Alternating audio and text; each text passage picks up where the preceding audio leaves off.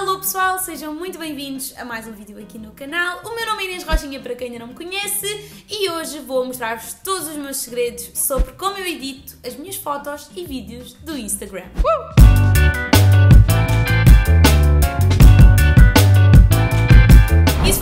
Gostam deste tipo de vídeos aqui no canal, deixem desde já o vosso grande gosto, subscrevam no botãozinho vermelho aí em baixo e, é claro, ativem as notificações, não só para ficarem a par de todas as novidades, mas também para apoiarem o meu trabalho aqui no YouTube. Desde que eu mudei o filtro das minhas fotos, muitas pessoas estão curiosas para saber o que é que eu utilizo, qual é que é o preset, etc, etc, etc. E guess what, pessoal? Eu não utilizo Lightroom. Mas é verdade, pessoal, eu fujo um bocadinho aqui à regra porque a maioria das youtubers que vocês seguem, das instagramas que vocês conhecem, utilizam Lightroom para editar as fotos e utilizam um preset dentro do programa Lightroom.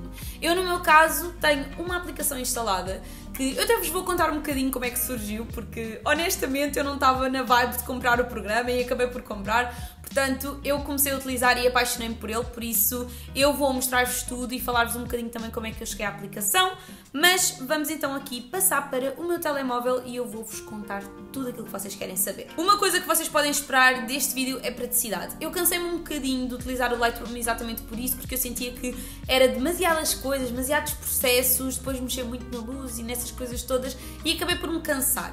E foi por isso que eu fui dar esta aplicação, que é a aplicação que eu utilizo, que é a aplicação da Tesa, que basicamente é uma Instagrammer espetacular. Se vocês não conhecem, vocês têm que seguir a Tesa. Ela é incrível porque ela tem um conceito criativo espetacular e criou esta aplicação. Então eu vou-vos mostrar, é super fácil de utilizar, uma coisa muito, muito simples, muito mais simplificada do que o Lightroom. Aliás, eu sinto que ela começou esta aplicação exatamente por isso, porque queria simplificar a vida às pessoas e nem toda a gente percebe assim tanto do Lightroom ou como é que as coisas funcionam a nível de presets, porque sim, o Lightroom para vocês utilizarem a ferramenta dos filtros e daquelas coisas todas bonitinhas que vocês veem, vocês têm um custo de 4,99€ por mês para poderem fazer essa utilização e passarem os presets do computador para o telemóvel, portanto não é um processo assim tão simples. Então a Tesa criou esta aplicação, uma aplicação paga. Eu até fiz download só para ver como é que era, depois acabei por comprar o trial de 7 dias para experimentar e ver se me adaptava, se gostava. E guess what? Eu nem estava assim tão dentro da aplicação ao ponto de querer comprar, mas deixei passar o prazo e portanto foi-me descontado 40 euros, que é o valor anual, ou seja, é o que vocês pagam ao longo de um ano de utilização. Portanto, acaba por ser eh, 2 euros e pouco por mês ou 1,99€, uma coisa assim. É uma coisa que acaba por ser acessível dentro desta onda das aplicações, principalmente para pessoas que utilizam mesmo o Instagram como ferramenta de trabalho, que é o meu caso. Portanto, se vocês forem até mesmo fotógrafos ou querem usar o vosso Instagram ou trabalham de alguma maneira com o Instagram, eu acho sempre importante existir uma parte mais coesa, mais harmoniosa do vosso feed. Mas se vocês gostarem de fazer just for fun também, super recomendo. E é super fácil de trabalhar esta aplicação. Vou-vos mostrar. Portanto, eu tenho aqui esta fotografia que eu adoro. Foi uma fotografia que eu recentemente tirei com a minha franja, que eu amo. Esta fotografia ainda não tem nenhum retoque, nenhum ajuste, portanto, ela saiu mesmo assim da câmera, ok? E os filtros, vocês têm aqui vários filtros que são muito conhecidos também pela Tesa, por isso ela tem vários filtros destes que aplica nas suas próprias fotos, portanto é muito fixe para vocês também terem mais ou menos uma ideia daquilo que fica bem ou que joga bem com a vossa personalidade e com aquilo que vocês querem passar através do vosso Instagram. Mas eu sou aquela pessoa bem basiquinha. Eu fiquei apaixonada pelo vintage e o vintage ficou para sempre, eternamente no meu coração. Portanto, é este o filtro que eu utilizo em todas as minhas fotos. Uma coisa bacana aqui na aplicação da Tese é que vocês podem uh, diminuir ou aumentar a quantidade de filtro na vossa foto, o que é ótimo.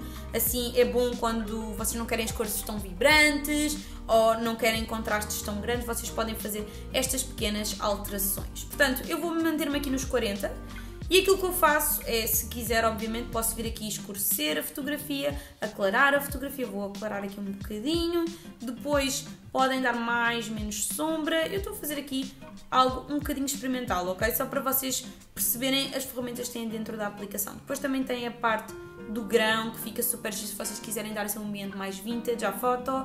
Mas sem dúvida que uma das minhas ferramentas favoritas deste programa é a ferramenta Sharpen, que é mesmo para dar mais detalhe à fotografia. Como vocês podem ver, eu estou a fazer a alteração e parece que eu estive aqui no Facetune, porque o Facetune tem mesmo uma opção para vocês também darem este detalhe extra à fotografia. E aqui neste caso ele dá-vos logo os detalhes todos em todo o lado. Portanto é ótimo e eu adoro isto. E acho que a fotografia parece que tem ainda mais qualidade do que a minha câmera fotográfica. E depois temos aqui também os efeitos assim de pozinhos Sim, aquele efeito vintage nas fotos que eu também adoro. Dá para vocês brincarem com a posição também, meterem mais claro, mais escuro. E como vocês sabem, eu também sou grande fã deste tipo de coisas, deste tipo de filtros que vocês podem inserir por cima. A nossa fotografia já está editada e eu vou então guardá-la no rolo da minha câmera aqui no telemóvel. E depois tenho aqui outras aplicações que eu também gosto muito de utilizar. Se eu sentir que a fotografia precisa de um ajuste ou outro, eu venho ao Facetune 2. Porquê? Porque este filtro vintage que eu utilizo, ele por vezes deixa os fundos ligeiramente alaranjados ou amarelados. E eu gosto muito do feed assim bem branquinho. E muitas pessoas perguntam-me, Rochinha, como é que tu fazes para ter o feed tão branquinho? Esta é a solução. Eu por acaso tenho aqui uma foto no Facetune 2 aberta que eu fiz exatamente isso. Eu normalmente utilizo o Facetune para fazer isso, que é aclarar. Portanto, eu vou-vos só mostrar o antes e depois. Isto é o antes, isto é o depois. E como vocês podem ver, a única coisa que eu fiz foi aclarar os brancos. E como é que eu faço isso? É super simples. Aliás, eu até vou abrir aqui a nossa fotografia. Ups, vamos ver aqui. Abrir a nossa fotografia que nós editámos, aqui está ela. E o que eu faço é ir aqui a retocar e depois temos esta ferramenta que é branquear, que normalmente é utilizada para branquear os dentes. Eu pessoalmente não gosto muito dela para branquear dentes e utilizo para branquear paredes.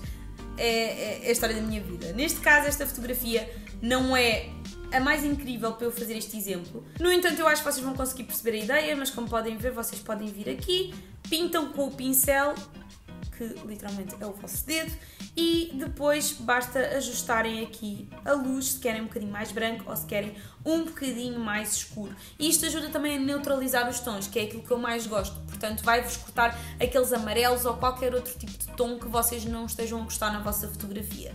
E são estes pequenos detalhes que por vezes criam aquele efeito coeso no feed e que fica tudo tão harmonioso. É exatamente vocês, se calhar, utilizarem o branco mesmo branco e não utilizarem uns mais amarelados, uns mais uh, azulados, portanto acaba por ser aqui uma giga-joga e uma brincadeira que vocês podem fazer no vosso feed.